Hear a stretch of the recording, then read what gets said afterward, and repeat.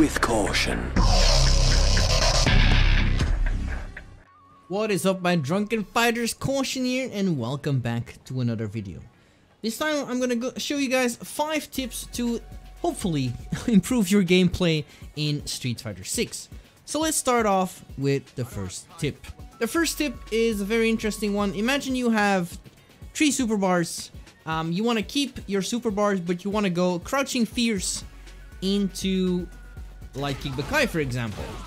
Now, something like this can happen if you input the motion. So we're gonna start with down for crouching fierce, and we're gonna go to forward, um, and then we do quarter circle forward to get DP, because the animation is forward to down to down forward forward.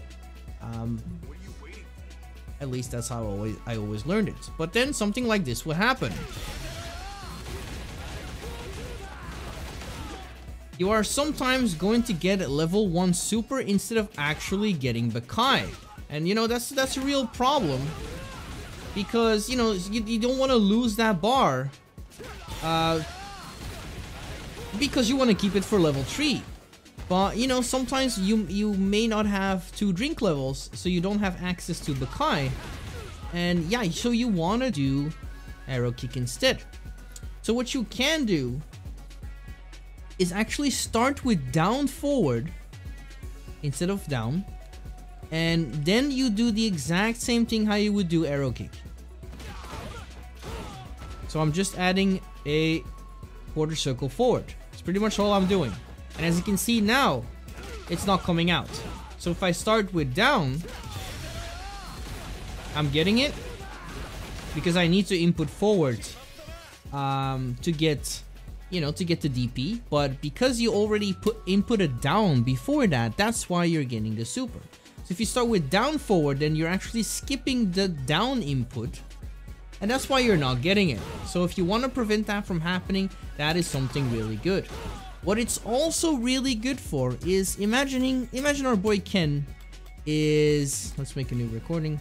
You know, he's just gonna jump at us and would do jumping fierce. Jumping fierce is so strong because it hits you downwards, it hits you up from so high, it is really, really strong. So sometimes when you be standing and you want to go for DP for example, it might happen, as you can see I'm doing the input, but I'm getting hit before I can actually do it. So that means, you know, I am gonna eat a full, full combo and that's not something that we want to happen. So, to prevent this, we can also do the exact same thing. We can start with down forward to down to down forward and we're gonna get the same result. So as you can see here, I'm going for down forward to down forward and we're still getting the DP. Now why is this important is because this means we can actually do a DP from a crouching animation. Meaning that we have more time to not get hit by the jumping fierce. So I can also do this from, uh, I even got the autocorrect there. I can also do this from down back. You know, that also works. Why is he... What? Okay, and we got we had some techni technical difficulties there. It's okay. Why is he jumping back? What the...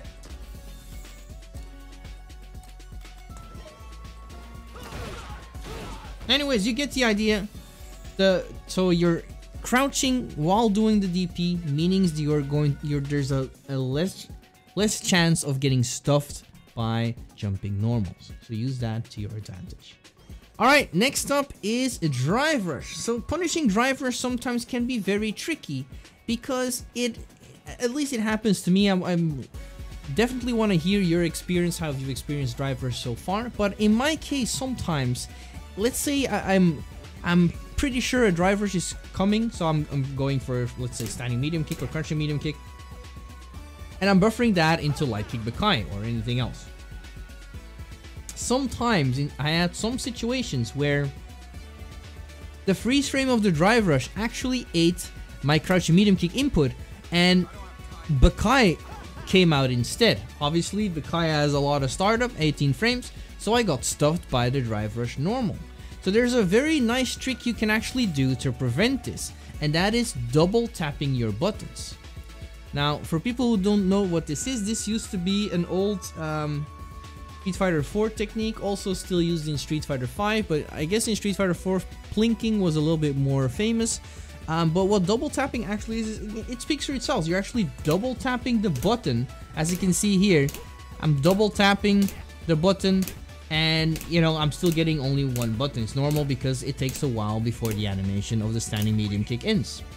But in this case, that means you actually also input an extra command to get the same result. Meaning if your opponent would go for drive rush, I am going to get uh, my standing medium kick. There's gonna be, there's double the amount of chance that I'm going to get the standing medium kick. Meaning that I'm going to be pretty much guaranteed to get what I actually want to do and not be influenced by the uh, freeze frame of the of the drive uh, drive rush. So keep that in mind. Try to implement this into your gameplay. It really really helps. Um, you know, if I could get the punish as well, that would be really nice. Um, sometimes I even struggle doing this because like I used to I used to do this a lot in Street Fighter 4, but I didn't use it that much anymore in 5 or in 6. But the moment I realized that Drive Rush actually eats your inputs, that is something I started doing again. So for people who are actually curious how I'm doing this, um, it's it's pretty it's pretty simple. You have to get used to it, but it takes a while. So I'm just using two fingers actually to um, go for the go for the move. So instead of like, because I used I I used to press buttons with two fingers at the same time, uh, because I got used to like plinking and stuff like that. But if you want to do like a successful double tap, the best thing you can do is just tap it twice with your fingers. That, that's all you have to do. And you know, it goes pretty fast. You can actually do this um, pretty easily over all the buttons. You can do this during combos as well. But it's just like you're flicking your your your two fingers at the same time, like like a little bit delayed. And I'm using my middle finger first, and then followed by my um, what is it, index finger? I think it's index finger. Help me out. I, I think it is. Anyways, you, you, can see what I mean. So like, get used to this. It really helps you out with um, with punishing drive rush, and I found it to be a lot more successful when I'm using double tap. Okay. Moving on to the next topic, which is buffering specials or drive rush. So let me give you a small example here of and let's just um, let's just put Ken on. I'm gonna make him jump into crush and medium kick. That's that's all we're gonna do. So what I mean by buffering specials is let's let's say for example you can see my inputs here. I'm actually doing standing light kick into uh, light punch palm in this example. I could also do uh, you know Rekka for example. It doesn't matter. As you can see, it doesn't come out. I'm not getting the standing Rekka. I'm doing the motion really fast. That's one thing you have to do because if you do it too slow, then obviously it's going to come out. But this is what we mean with actually buffering. Um, you can go even more a little bit in depth of, for example, you could do uh, palm and you could buffer the super. So as you can see, after the palm, I'm doing the super animation, the level 3 super, but I'm not uh, pressing the button. So for example, if I... This is a very nice way to learn hit confirming off of buffering. So sometimes you could be like, holy shit, these professional players, they are godlike. I don't know how they're doing it. Well, this is something you could do. So if I'm doing palm, so you can see that if he blocks, I didn't press the punch button to complete the level 3, but you can still see that I'm buffering the motion of level 3. So I'm still buffering that in any case, um, even on hit or on block. And if I would see the hit, for example, the only thing I have to do is press punch. And that makes it a lot easier to go for hit confirms. Now, I still believe that this is a, a very uh, hard uh, hit confirm to do. But, because like, even in my case, sometimes I would probably mess it up, just as you saw there. Um, but it's just an example of showcasing you guys what is possible. So if you're going for the animation, you see that he's getting hit, you only have to input punch. That is a way that buffer works. The other way is what I was trying to show you from the start, but I'm just chaotic and I go all over the place. So if you're buffering specials from a normal, on whiff, nothing is going to happen. But if we actually hit Ken, then that instead of a buffer, that's going to turn into a cancel. and that means that the palm is going to come out and it's going to connect. So yeah, this is a good way to learn footsies, for example, like you're safe, you're just whiffing, and you can see this in my ranked matches as well. Sometimes I'm doing this, and there's always a buffer behind it. And the reason for that is, like, if they're doing footsies and if that standing light kick connects, I can get the punish. Same can be said for drive rush as well. You can go for drive rush, as you can see. Uh, you can also do it with the parry since the update, but I don't really like that. I'm just doing it old school. Uh, you can do crouching medium kick, for example, and you can buffer forward. As you can see, I'm buffering forward and then immediately inputting block again. And if it hits, then the drive rush comes out. If it doesn't hit, then nothing is gonna happen. And this gives you time to hit confirm and do whatever you want afterwards. So yeah, try to input this into your gameplay as well. You could go for Rekkas instead as well, something like that. Anything is possible as long as you're doing the motion fast enough. But in this case, as you can see, sometimes uh, Rekka is not gonna work, so Palm is way more reliable in that regard.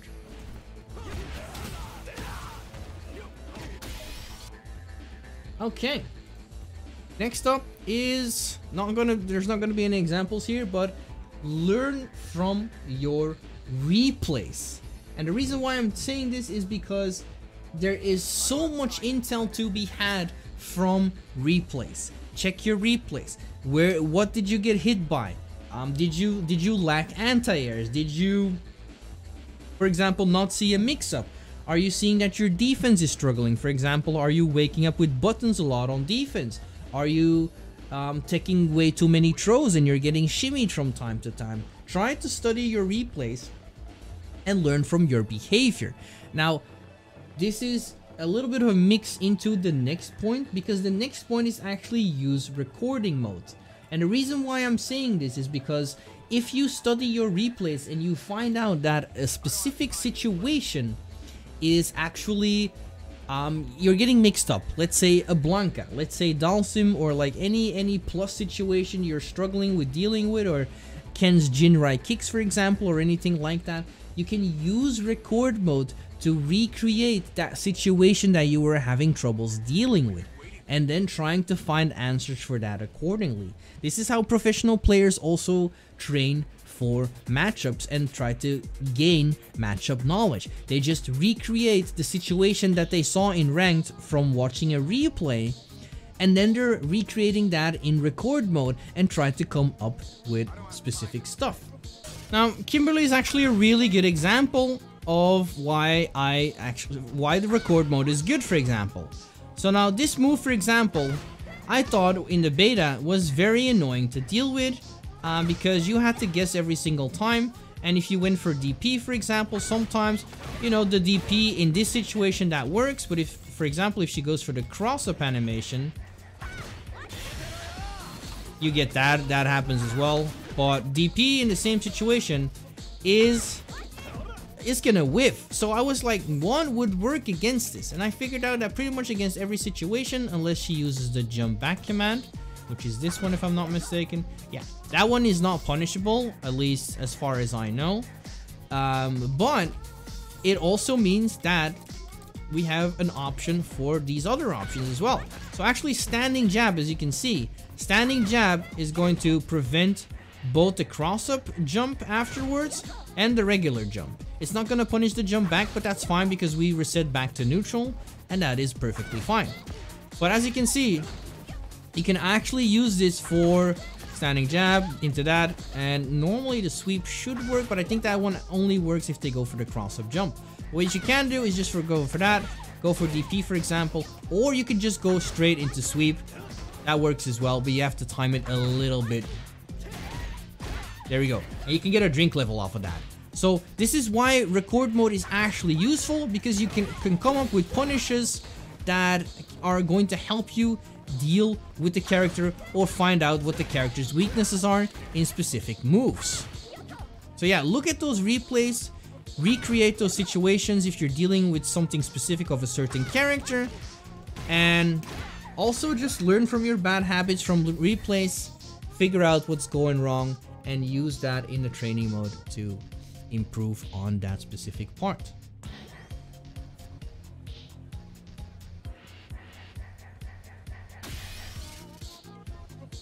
All right, and that is it for now. There's gonna be more tips in the future, but for now, that is going to be it. Next up is going to be the Blanka match video. Stay tuned for that one. And don't forget, as a special surprise, I'm gonna announce it here, but I will make a post later on this week in on YouTube as well.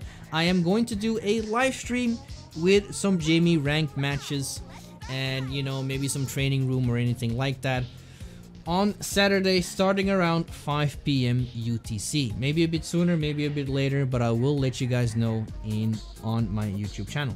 But for now, thanks a ton for watching. Don't forget, as usual, to stay cautious, and I will see you all in the next one. Take care.